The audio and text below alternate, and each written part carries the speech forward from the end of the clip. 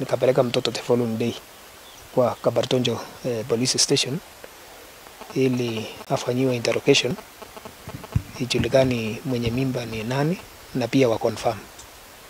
Hapo sasa tukaenda na mtoto kufika kwa police station, askari wa crime wakachukua hatua, wakauliza yeye maswali, ndio nikastuka pia kuambiwa ni pasta mwenye alikuwa anafanya huduma kwa area yangu.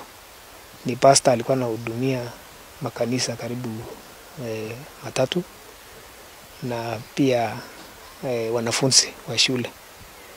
So eh, hapo sasa ndio tukapeleka mtoto kwa hospitali.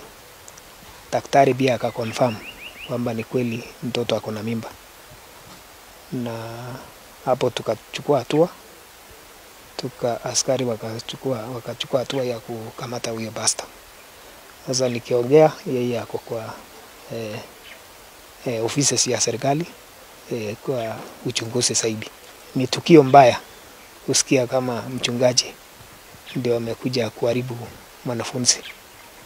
So naomba eh, serikali wachuku, wachukulie hatua ikiwa kweli ni yeye ndio alifanya hiyo kitendo. Tunataka kuomba kama inawezekana, huyu mtoto arudi nyumbani, akuja arudi shule, hata kama ako na mimba.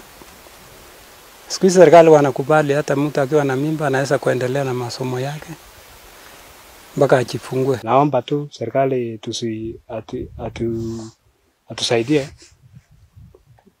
kupata haki. Kama kuna pasta mwingine kama yeye arekebishe